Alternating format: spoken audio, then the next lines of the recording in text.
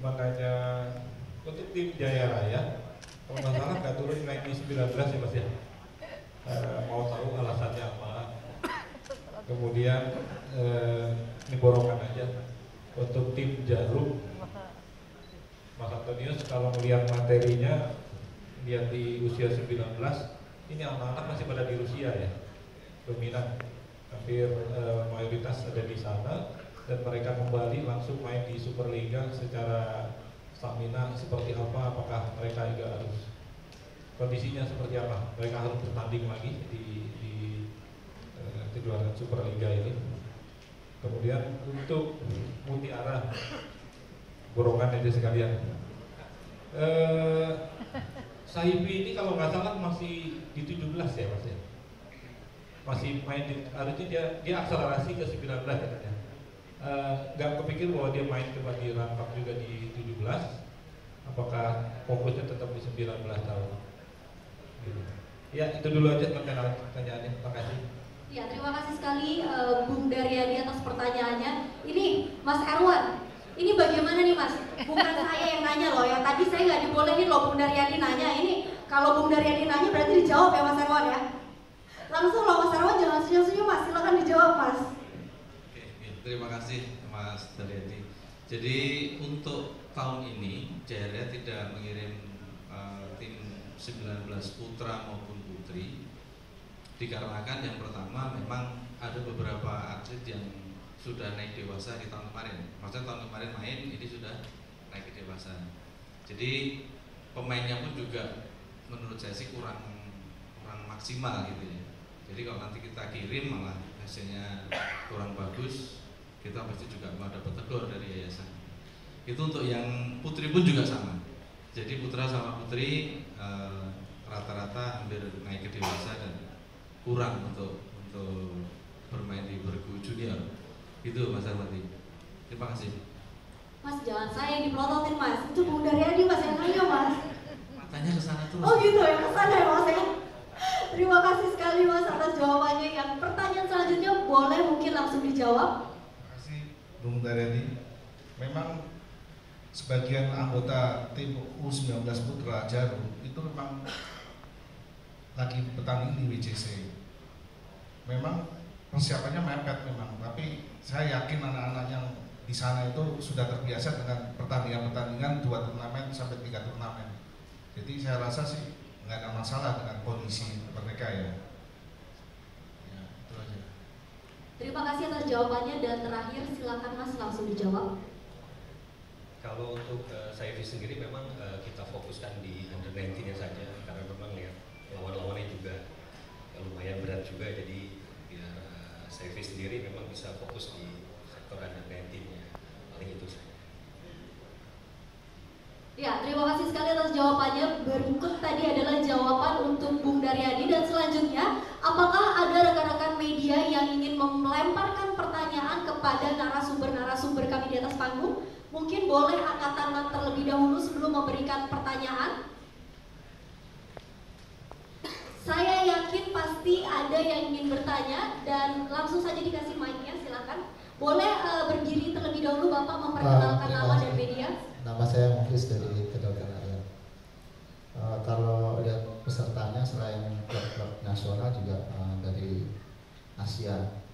Uh, yang saya tanyakan uh, kenapa Asia hanya uh, Malaysia, Singapura, Taiwan yang notabene untuk juniornya uh, kurang begitu greget gitu, uh, dibanding dengan uh, India, kemudian kalau kita lihat uh, di Eropa, Denmark itu juga uh, cukup bagus.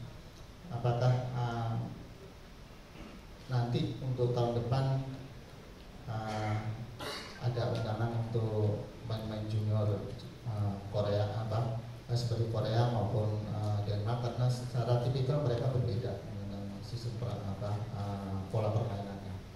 Itu yang pertama. Karena ini kan untuk menimba uh, pengalaman tanding buat pemain-pemain muda. Lalu yang kedua, biasanya kita di, junior uh, punya prestasi bagus, tapi ketika sudah uh, masuk di level senior kemudian main di internasional kita agak uh, berat gitu. apakah DPB PBSI sendiri memantau dari apa event-event yang yang ada sekarang ini terutama yang junior untuk masuk pelatnas dan kira-kira apakah di kejuaraan ini termasuk dalam pantauan dari PBPBS itu sendiri. Terima kasih.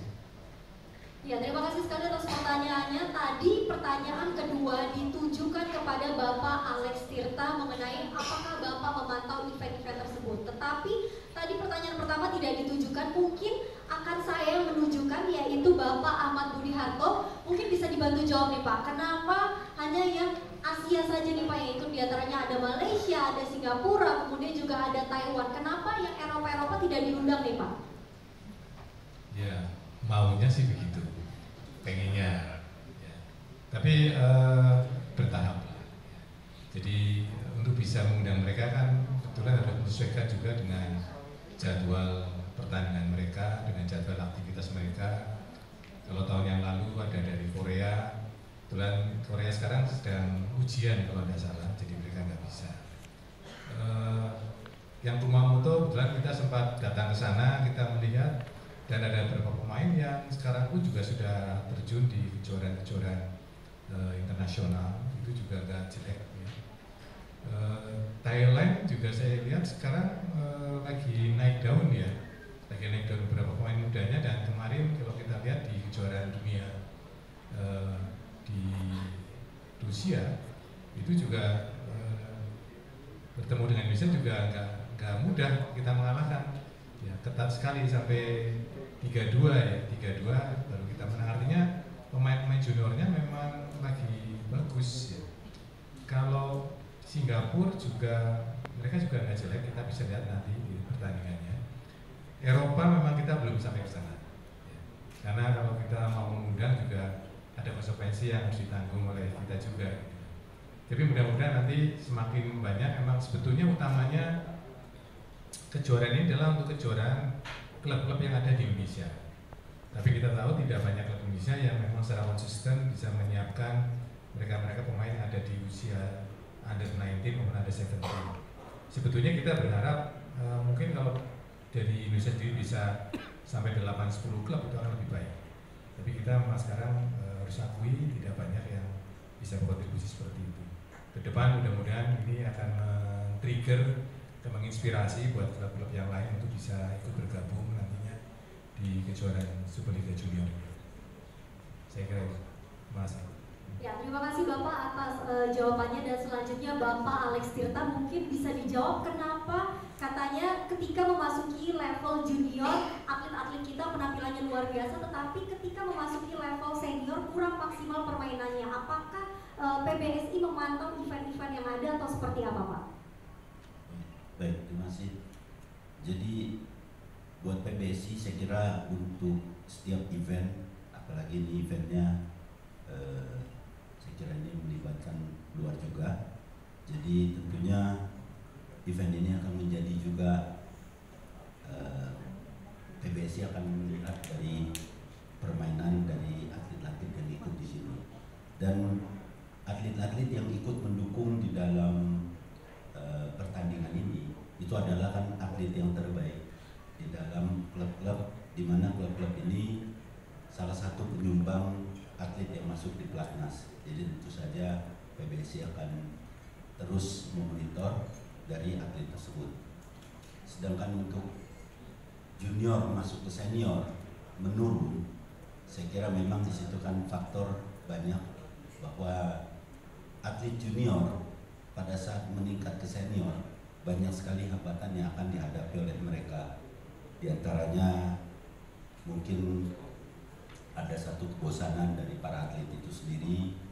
Lalu kedua mungkin lingkungan dari kehidupan mereka baik di klub maupun di kehidupan sehari-hari.